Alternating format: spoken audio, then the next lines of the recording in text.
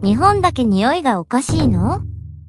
世界的に有名な歌姫であるテイラー・スウィフトが日本の街中の匂いについて発言し炎上したことをご存知ですか？ワールドツアーで日本を訪れたアメリカを代表する歌姫テイラー・スウィフト彼女がアジア各国を回ってツアーを行った際最後に訪れた日本の匂いに衝撃を受けて自分の鼻がおかしくなったのかと思ったと発言をしたのです。この発言は大炎上し、SNS にも飛び火、物議を醸しました。一体どんな内容を投稿し、炎上してしまったのでしょうか本日は日本の衛生事情と全く正反対の概念を持った2つの国のお話です。ぜひ最後までご覧ください。テイラー・スウィフトとは20代を中心に若者から爆発的な人気を誇る世界的歌姫です。10代の頃から作詞作曲を始め、2006年にデビューアルバムテイラー・スウィフトをリリース。その後もヒット曲を連発し、数々の賞を受賞しています。シェイク・イット・オフやザ・マンなどを代表曲に持ち、日本でも大人気ドラマやバラエティ番組でもテーマソングに起用されるなど、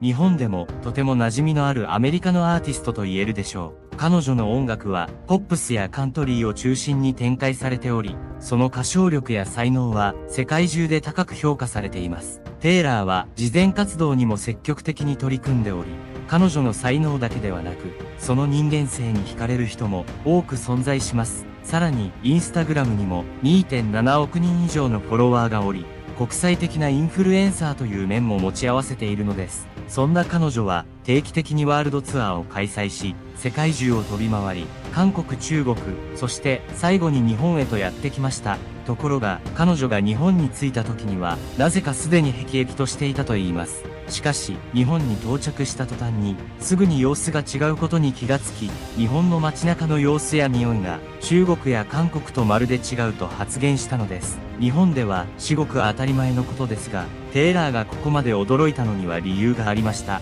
なぜなら、韓国や中国の衛生環境が劣悪すぎたためです。皆さんは韓国や中国の街中は独特な匂いを放っていることはご存知ですか？綺麗に整備された首都ですら匂いをかき消すことができないのです。これは排気ガスや廃棄物処理の問題が深刻であり、大気汚染や水質汚染が原因です。しかし他にももっと根本的な問題があるのです。それは国民たちの衛生概念と言われています。確かに韓国や中国は都市部だけを見れば見栄えが良くはなりましたが、匂いという点においては一長一短にはいかないものです。形だけ綺麗にしても、そこに住む人たちの問題も大きく、常に綺麗に整える意識であったり、清潔に保とうという努力がなされていないと、維持することができないことだからです。テイラーはワールドツアーで一番最初に訪れた韓国では、愕然としました。韓国の街中の汚さに驚き、ゴミの匂いとニンニクやキムチが混ざったような独特な匂いに鼻をつまみました。街全体が不潔で不快な空気に包まれており、滞在すること自体が苦痛だったそうです。歩道にはゴミが散乱し、排水溝からは異臭が漂っていたためか、街そのものから汚臭がしてくるという状況だったといいます。人々のマナーも悪く、タバコのポイ捨てや飲食物の残りを放置する光景が目立ったのです。街の人たちに、そもそも街をきれいに保とうという気持ちがなかったのです。アジアのワールドツアーが始まって、まだ序盤でしたが、この時点で、テイラーはすでに辟易としていました。そのため、散策することもままならず、ただただ不快感と嫌悪感を抱えて、ワールドツアーの滞在期間を過ごすしかなかったそうです。他にも都市部では住宅や公共施設の建設が進んでいますが、それに伴い衛生状態も整備されたらいいですが、残念ながら設備が伴いませんでした。特に下水処理施設の整備が不十分であり、排水や汚水処理が適切に行われていない地域が多く存在するため、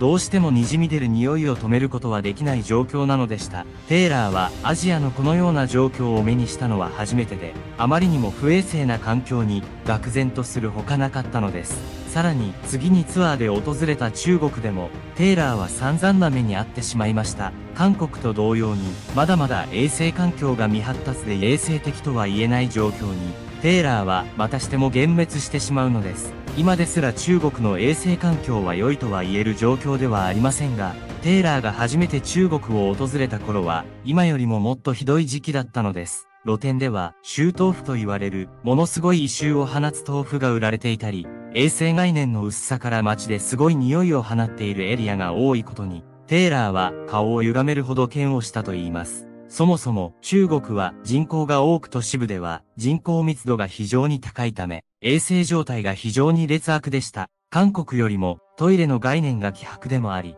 ニーハオトイレと呼ばれる民間で使われるような公衆トイレが存在します。そのトイレを見たとき、テイラーは生理的に受け付けないと心から思ったそうです。それだけではなく、野原や裏路地で用を足すといった文化も残っていた当時、テイラーがその事実を知ると気が遠のいたそうです。そして中国でのツアーも韓国と同様、気がめいるような衛生環境に辟易とした彼女なのでした。また、この国もこんなに臭いだなんて、きっとアジアはこういう概念の国々なんだと思ったテイラーはアジアで残っている日本公演に心から憂鬱な気持ちになっていました。もうアジアの衛生環境にはうんざりだと辟易していたテイラーでしたが、しかし、そんな彼女が日本の空港に降り立った瞬間、すぐあることに気がつきました。それは、日本の空港も街中も全く嫌な匂いがしなかったそうです。アジアの国々は、どこも不衛生だと信じかけていたテイラーにとって、日本に来て、その印象は180度覆されました。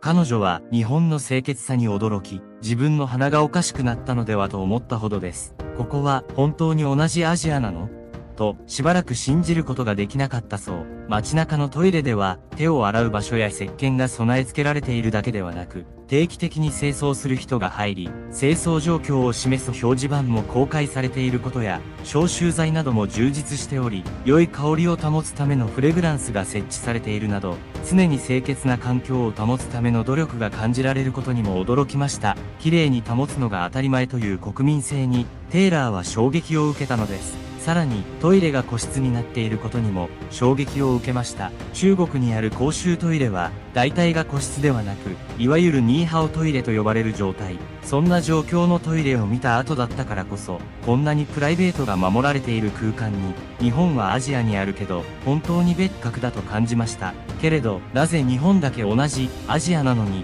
日本だけこんなに違うのだろう。と疑問に思ったテイラーは日本での滞在をサポート日本人スタッフに日本だけどうしてこんなにおかしいの？と質問をすると日本人スタッフは笑って答えました。日本にとってはこれは普通で当たり前のことですよと話したのです。韓国と中国とのあまりの違いにテイラーは言葉を失いました。加えて日本では小学生の時から自分たちの教室を掃除するという習慣があり、むやみやたらに汚したりしないという説明をされ、同じアジアなのに、どうしてこんなにも違うのかと、驚きを隠せませんでした。さらに街には、ゴミ一つ落ちておらず、どこもかしこも綺麗な様子や、国民が街を汚していない様子に、とても感動し、日本の匂いは異常すぎる？と衝撃を受けたのです。この時に初めて東京を訪れたテイラーでしたが、これまでアジアを巡る時に経験した辛さを忘れ、日本公演の合間にショッピングを楽しみました。そして日本でアジア最後のワールドツアーを終え、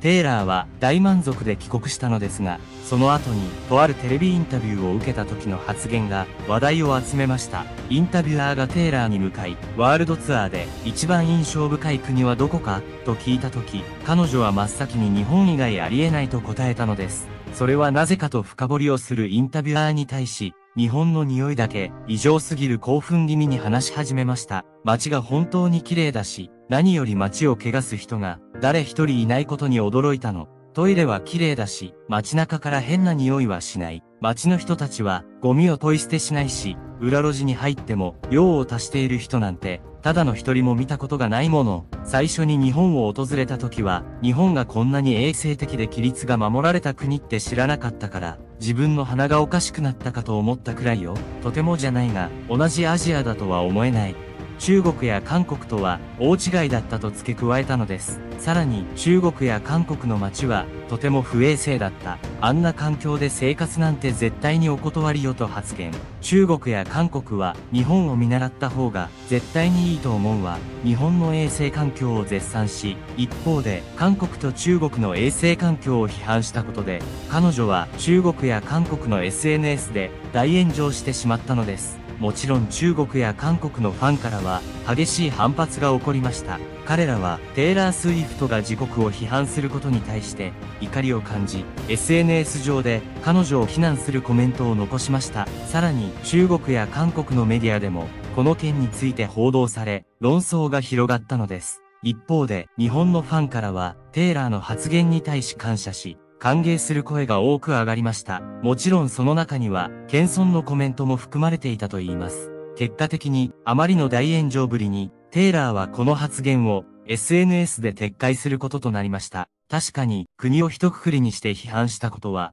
テイラーも謝罪に値する点と言えますが、慈善活動も精力的に行っている彼女ですら、同じアジアというエリアで、こんなにも文化レベルが違う国民性だとは、微塵も思っていなかったのです。私たちの日常の中には、街にゴミは捨てない、トイレはきれいに使うという共通認識があります。だからこそ、今回のワールドツアーで、初めて日本を訪れたテイラーにとって、あまりにも衝撃的体験で、インタビューを受けた時に、興奮して伝えたくなってしまったかもしれません。さらに、今回のエピソードには、他のアーティストも、賛同の声を上げました。たびたび日本公演を行っている、ホイットニー・ヒューストンや、日本に何度もプライベートで訪れている、アブリル・ラビーンなど、他の海外セレブたちも、日本の衛生環境を高く評価しているようです。特に、アブリル・ラビーンは、日本に親戚がいるということも相まって、17回以上、日本に来日しているだけではなく、衛生概念に対し、いつも絶賛していると言います。